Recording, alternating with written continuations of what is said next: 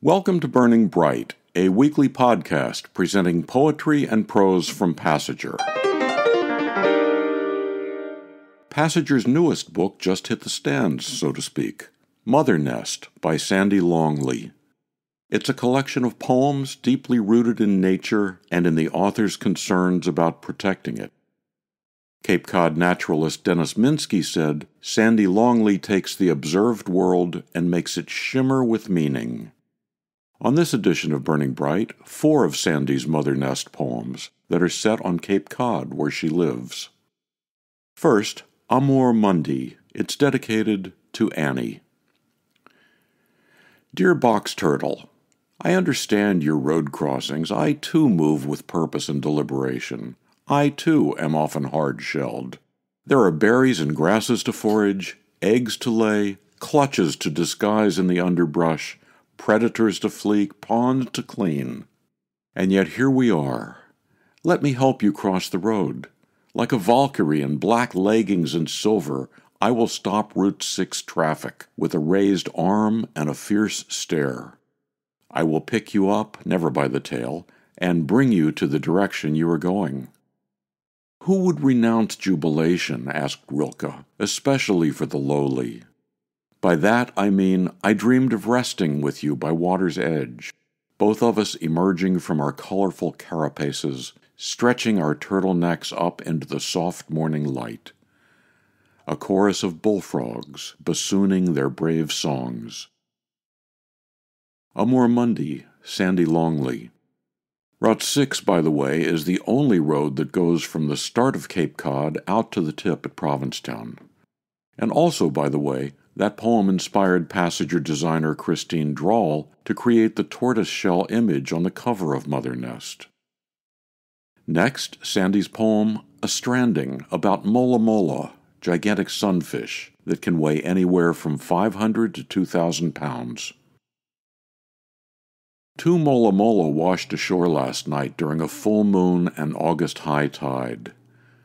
Medallions of luminescence, one scalloped and finned, parasites embedded in its bony sandpaper body, an oversized manhole with wings, the other one suspended and cratered, both ancient, mythic.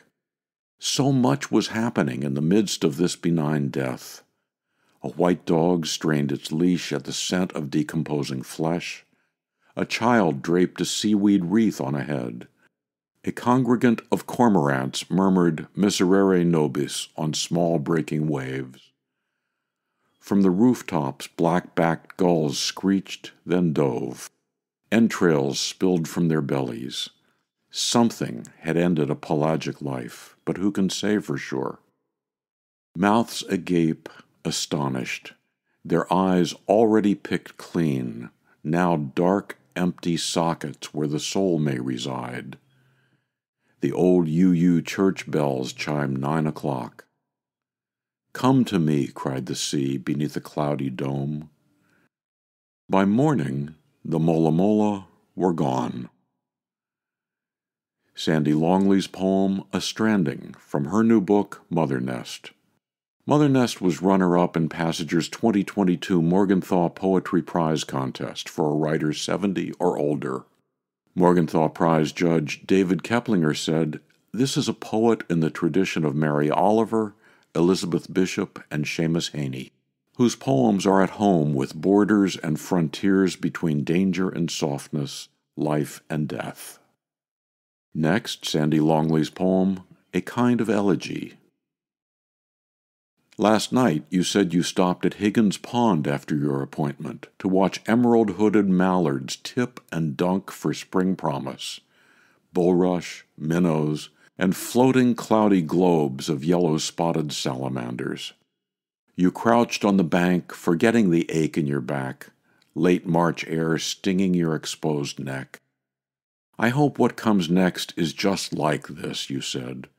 Sweet, earthy mud smells, a hint of heat on stones, wind whipped water. A great blue heron landed beside you, wide wing plumes, a dagger like bill, head hunched on shoulders. He croaked and crooned, you said, like Satchmo on a scratchy 78 LP.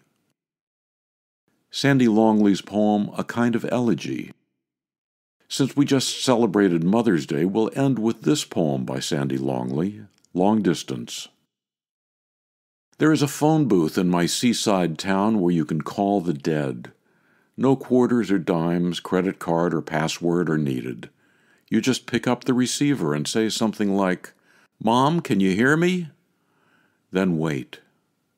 You may have to start the conversation like, Mom, what's it like there? If there's still no response, you might say, Today gannets and guillemots grace the harbor. Right whales rise off the point. You take a few deep breaths and then wait. You think you hear something on the other end. A distant train whistle? A sigh like silk on silk. Your damask tea towel covers the sourdough bread. The cloisonne box is hidden.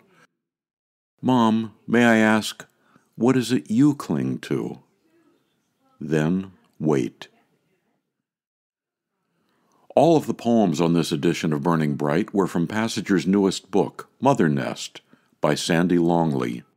You can buy Mothernest or any of Passager's other books, or subscribe to or learn more about Passager and its commitment to writers over 50, and lots more. Go to passagerbooks.com. For Kendra, Mary, Christine, Roseanne, and the rest of the Passager staff, I'm John Shore.